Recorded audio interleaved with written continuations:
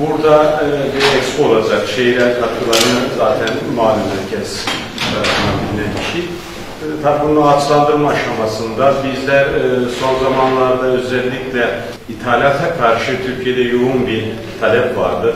Kendi ürünlerimiz dururken dışarıdan ithalat yapılması bizleri son derece üzüyordu. Biz bunları Ahmet Başkan'la da daha önceden görüşmüştük. İşte Expo'da özellikle sizinle de daha önce görüştük. Ee, çok bu konuda da teşekkür etmek istiyorum. Çünkü yerli üretime destek vereceğinizi, ithal ürün kullanmayacağınızı daha önceden de beyan etmiştiniz. Bizler neler yapabiliriz, nasıl e, hareket edebiliriz birlikte? Bunu bizim sektörümüze nasıl yayabiliriz? Bu konularda bir incelemelerde bulunmak için geldik. Kalbimle bunu ifade etmek istiyorum. Bu tür yatırımlar sadece 12 Şubat Belediye'mizin değil, sadece Kahramanmaraş'ın değil, tüm Türkiye'mizin bir değeri olacak. Ben o şekilde bakıyorum.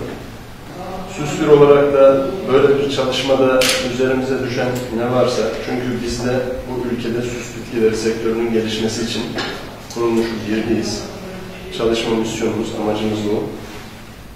Bununla ilgili olarak e, başkanımızın da söylediği gibi sektörümüz çok ciddi bir ivme kat etti. Türkiye'de çok genç bir sektörüz süs bitkileri olarak son yıllarda artık e, sadece ithalat yapan değil, ihracat da yapan bir ülkeyiz. Süsler olarak da bize düşen ne olursa elimizden geldiğince sizin yanınızdayız. 12 Şubat Belediye Belediyesi olarak gerçekleştireceğimiz Expo 2023 projemizde zaten esas amaç daha çok bitkisel alanda, tabiat alanda, doğa alanda Dolayısıyla süs bilimimizin Expo 2023'e katkısı önemli bizler için.